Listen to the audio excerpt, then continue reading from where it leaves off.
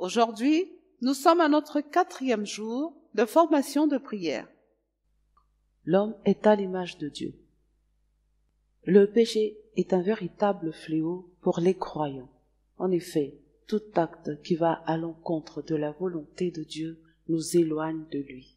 Nous avons tous été créés à l'image de Dieu, mais le péché vient tarir toute part de bonté en nous. Comme nous avons été créés à l'image du Créateur, nous sommes extrêmement précieux à ses yeux. De ce fait, il a mobilisé tous les moyens nécessaires pour se rapprocher de nous. C'est d'ailleurs pour cette raison qu'il continue à vouloir entrer dans nos vies. Nous avons été créés à l'image de Dieu. Dans Genèse chapitre 1, versets 26 et 27, il est dit que les humains ont été créés à l'image de Dieu. Cela signifie que nous lui sommes semblables. Cependant, le fait d'être à l'image de Dieu ne veut pas dire être son égal. En effet, nous sommes son œuvre, sans doute l'une de ses plus belles créations, mais nous n'en restons pas moins le fruit de son travail. L'homme est à l'image de Dieu, non pas en ce qui concerne son aspect physique, mais plus au niveau spirituel. Après avoir créé l'homme, Dieu vit que cela était bon. C'est cette bonté qui fait que nous sommes à l'image de Dieu.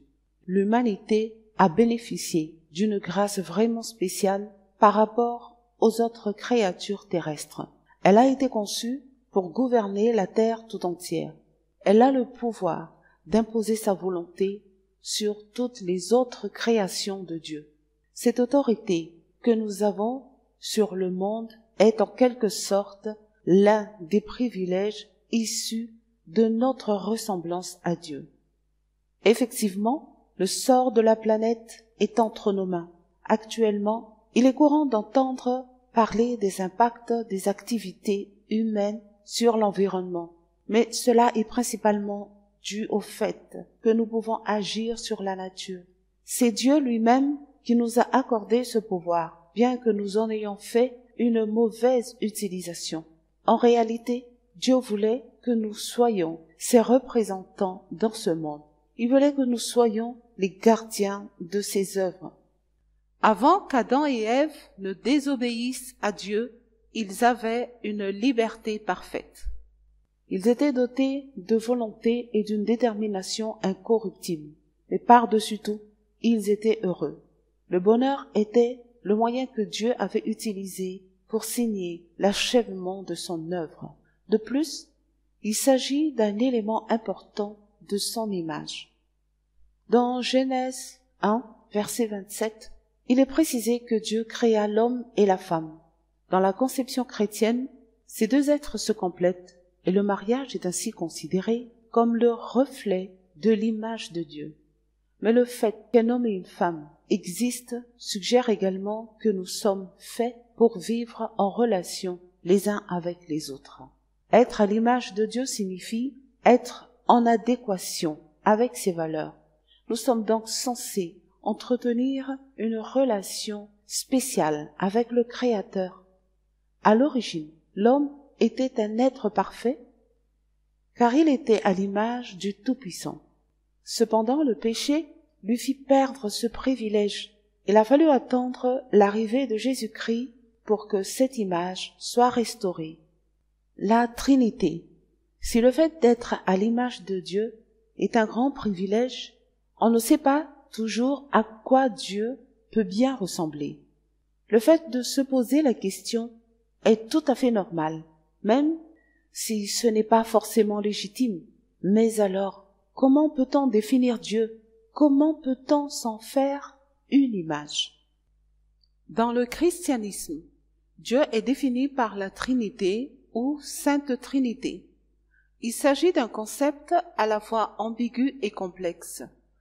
Selon cette définition, Dieu serait unique et constitué par trois personnes, le Père, le Fils et le Saint-Esprit. Il est important de noter que certaines croyances n'acceptent pas ce concept. Pour celles-ci, si Dieu est unique, il ne peut nullement être constitué de plusieurs personnes. Mais pour eux qui croient en la Sainte Trinité, Les trois entités sont d'une même essence divine, mais fondamentalement distinctes. La Trinité n'est pas explicitement mentionnée dans le Nouveau Testament, même si les trois personnes qui la composent s'y manifestent de manière récurrente. Parfois, elles agissent de manière indépendante. Parfois, elles agissent ensemble.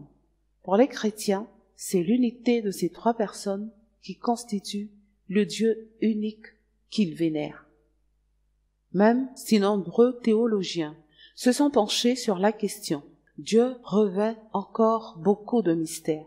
La Trinité est le moyen par lequel les chrétiens se sont accordés pour le définir, mais cette définition n'est pas unanime continue de faire l'objet de toutes sortes de critiques. Dieu le Père, Dieu le Fils et le Saint-Esprit ont chacun des attributions spécifiques. Les croyants peuvent vouer des prières à chacune de ces entités ou bien à l'unité qu'ils représentent. Compte tenu de la complexité de ce concept, il devient d'autant plus difficile de décrire l'image de Dieu. Ainsi, nous pouvons nous demander où nous en sommes vis-à-vis de la Trinité. Quels sont nos points de ressemblance avec cette entité?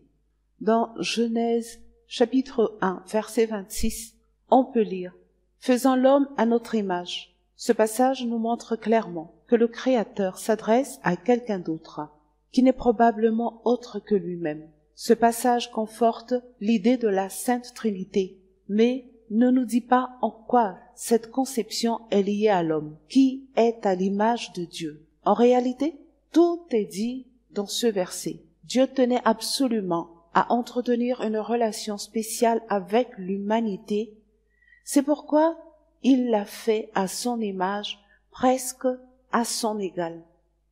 L'homme, un être de relation.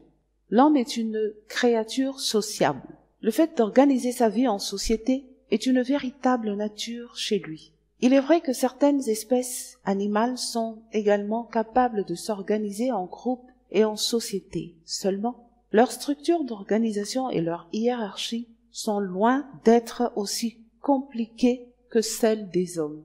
Pour vivre, l'homme a besoin de s'organiser et d'entretenir des relations avec ses semblables.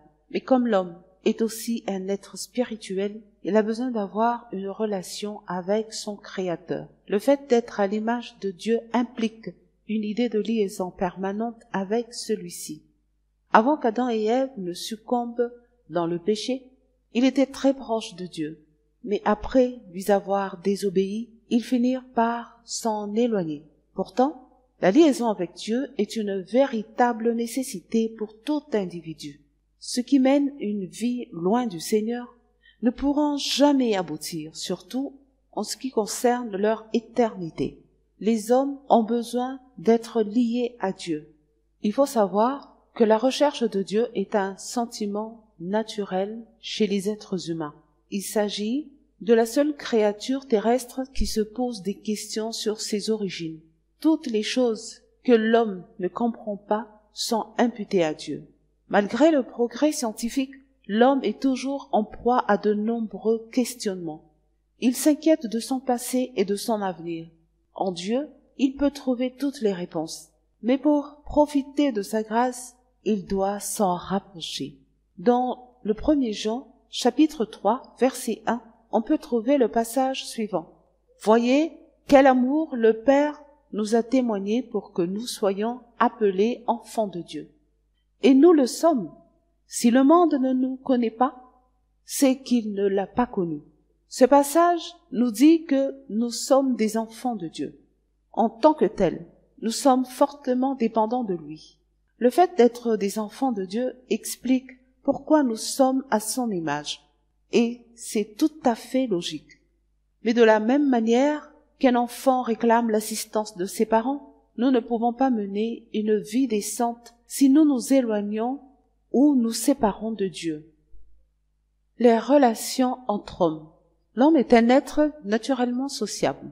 Il cherche continuellement à entretenir une relation avec ses semblables. Dans la mesure où tous les êtres humains sont à l'image de Dieu, le fait de rechercher à être en contact avec d'autres personnes n'est pas quelque chose de mauvais. D'ailleurs, le fait que Dieu ait créé hommes et femmes en dit beaucoup sur notre besoin de sociabilité. En effet, l'homme a besoin de la femme et la femme a besoin de l'homme, car ces deux êtres se complètent. Le mariage chrétien fait souvent allusion à cette idée.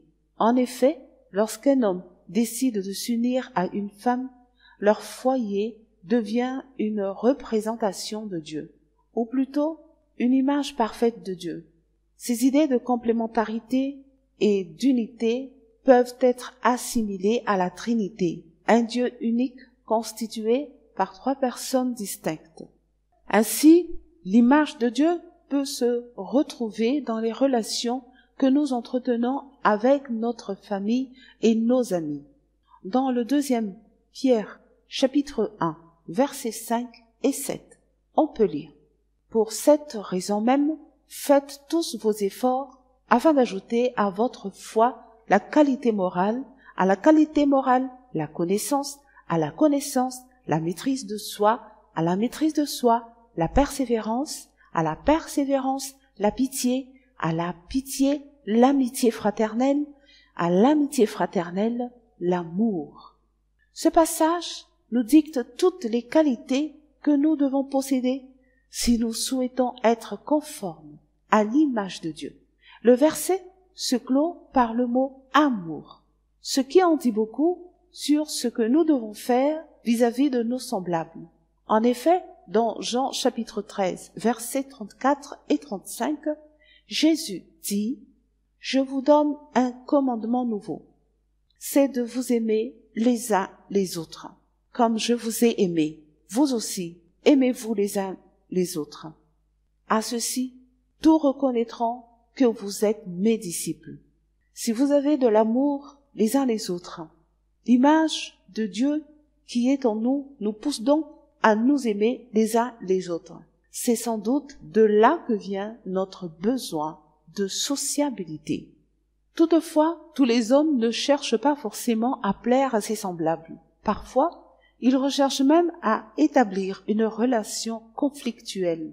Or, ce genre de comportement va non seulement à l'encontre de la volonté de Dieu, mais au contraire à son image. Si nous souhaitons réellement refléter l'image de Dieu, nous devons donc agir en conséquence. Dieu veut entrer dans notre vie. Nous sommes précieux aux yeux de Dieu, bien que nous commettions des actions qui vont à l'encontre de sa volonté. Il essaie sans cesse de trouver des solutions pour se rapprocher de nous. Dans Jérémie chapitre 3 verset 22, on peut lire Revenez, enfants rebelles, je pardonnerai vos infidélités. Nous voici, nous allons à toi, car tu es l'Éternel notre Dieu. Ces paroles nous montrent clairement que Dieu ne cesse de nous attendre. Il est vrai, que nous devons respecter certaines conditions pour pouvoir se rapprocher de lui. Mais tant que nous sommes décidés à retourner vers lui, il continuera à nous tendre les bras. Dieu veut entrer dans notre vie et intervenir dans notre quotidien, mais c'est nous qui l'empêchons de le faire.